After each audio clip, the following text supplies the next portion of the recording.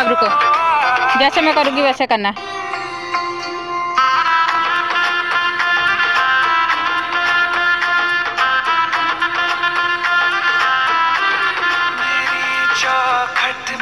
चल के आज चार